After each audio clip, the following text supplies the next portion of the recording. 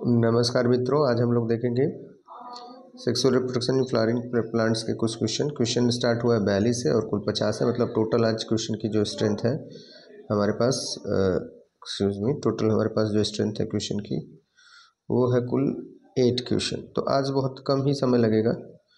जो स्ट्रेंथ है वो टोटल कितने क्वेश्चन है? एट है। तो एट मतलब hardly five to seven minutes लगेगा, ठीक है?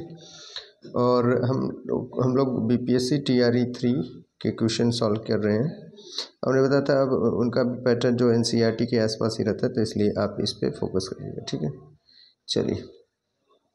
Pollen tube usually enters the embryo sac through तो अभी एक मतलब कैसे एंट्री करता है? तो आपको पता ही होगा ये इसकी एंट्री कैसे होती है।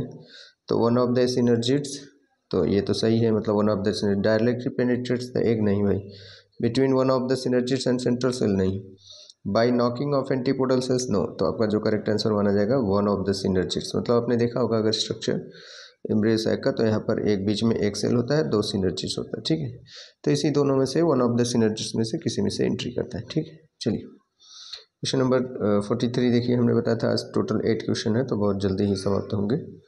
चलिए क्वेश्चन नंबर फोर्टी थ्री देखिए। Double fertilization involves fertilization of egg by two male gametes तो नहीं भाई। Fertilization of two eggs in the same embryo sac by two sperm brought by the one pollen tube ये क्या कर रहा है? Fertilization of two eggs नहीं two eggs नहीं, गलत है। Fertilization of the egg and the central cell by two sperms brought by the same pollen tube तो third is the right answer तो जो आपका करेक्ट आंसर माना जाएगा fertilization of the egg and the central cells by the two sperm brought by the same pollen tube so, third is the correct answer. चलिए 43 44 देखिए। 44 को तो easy है, आप मैच करा सकते हैं। आप देखिए ओबियल को तो सीट से मिला दीजिए। फ्यूनिकल्स को आप न्यूसिलस को पेरिस्पम से मिला दीजिए। पोलर न्यूक्लियाई क्या बनाता है? इंडोस्पम बनाता है और फ्यूनिकल्स एरियल्स तो इस तरह आपका जो करेक्ट आंसर मतलब ए का थ्री तो ए का थ्री देखिए कहाँ पे है? ए का थ्री ए मतलब ये तो गया। ऑप्शन ए भी गया बसता है ए और बी अब ए का थ्री हो गया, फिर बी का टू तो बी का टू दोनों दिया है। अब सी का देखिए सी मतलब न्यूसिलस न्यूसिलस फोर सो सी का फोर मीन्स आपका first is the right answer कौन सा राइट आंसर होगा? फ़र्स्ट ठीक है? तो first is the right answer चलिए, आगे देखिए। ये हो गया फोर्टी फोर फोर्टी फोर के बाद फोर्टी फाइव देखते हैं। फोर्टी फाइव में क्या कहता है? The plant part which consist of two generation and one within the other is ठीक है? तो ये कह रहा है कि टू जनरेशन होता है और one within the other is तो इम्ब्रियो तो होगा नहीं जर्मिनेटेड पॉलन ग्रेन होगा नहीं अनफर्टिलाइज ओविल होगा नहीं तो सीड में ही होता है, ठीक है? तो मतलब आपका जो प्लान पार्ट होता है, उसमें दो जनरेशन होती है one within the other मतलब सीड में ही ये जनरेशन पाई जाती है, ठीक है? तो फोर्टी फाइव का D is the right answer मतलब चौथा करेक्ट है। फोर्टी फाइव के बाद आइए फोर्टी सिक्स देखिए डायग्राम बेस्ड है तो आप पहले डायग्राम को रीड करिए। Which one of the following pairs of plant structures has haploid number of chromosomes मतलब कि इसके पास एक्सक्यूज़ मी थोड़ा सा विजिबिलिटी कम है। हाँ नहीं, सही है क्वेश्चन तो हम लोगों ने सही पढ़ा था। तो nucellus and the antipodal cells. अच्छा ये पूछ रहा है, नहीं नहीं, ये तो अलग, जो डायग्राम है उसका अलग है और इसका क्वेश्चन अलग है। तो which one of the following pairs of the plant structures has haploid number of the chromosome तो न्यूसिलस डिप्लॉयड अगर तो होगा नहीं। Megaspore mother cells and antipodal cells तो ये भी कम ही चांस है। Egg nucleus and secondary nucleus secondary nucleus miss diploid ये भी नहीं है। एग सेल एंड ट्रिपोडोसिस तो फोर्थ आपका राइट आंसर होगा, ठीक है? तो फोर्टी सिक्स में मतलब एग हैप्लाइड हो गया, ये भी एन हो गया, ये भी एन हो गया, ये भी एन हो गया, ठीक है? तो fourth is the correct answer तो फोर्टी सिक्स का four is the right answer चलिए डायग्राम बेस्ड अगला क्वेश्चन है। इसमें देखिए क्या कहता है।